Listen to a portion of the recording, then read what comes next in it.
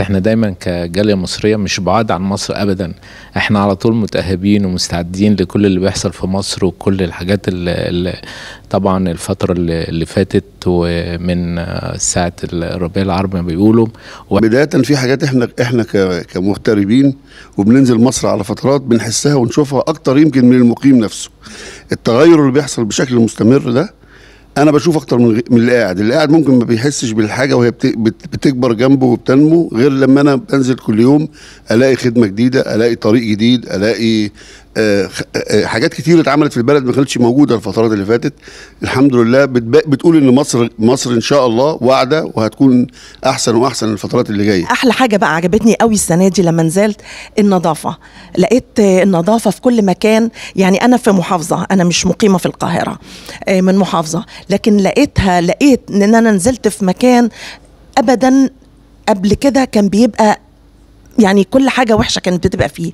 السنة دي لقيته نظيف جدا. لا ينكر أحد كائنا من كان النقلة النوعية الحاصلة على أرض جمهورية جديدة في الوقت الحالي.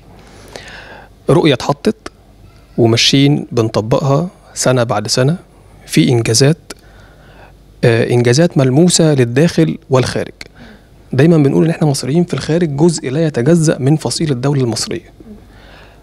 ورؤيتنا للإنجازات اللي بتتم الآن على أرض الواقع بننقلها كل حد موجود في دولة في الخارج بينقلها بينقل الصورة بشفافية ووضوح عشان نساعد في استقرار مصر وزيادة الاستثمارات في مصر.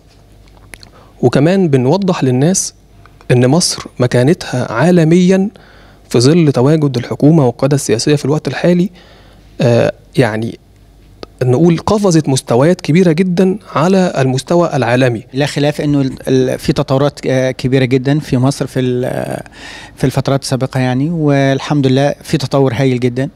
على مستوى البنية التحتية الحقيقة إحنا بنلمسها وخصوصا إحنا مثلا بنغيب سنة أو سنتين أو ثلاثة لما بننزل مصر بنحس إنه في تغير كبير جدا. التغيرات دي كلها للأحسن وللأفضل. آه تقريبا يعني الطرق بقت كويسة جدا آه إعادة آه تخطيط المدن نفسها وخصوصا آه سكان القاهرة. آه فإحنا في لمسنا تحسن كبير جدا.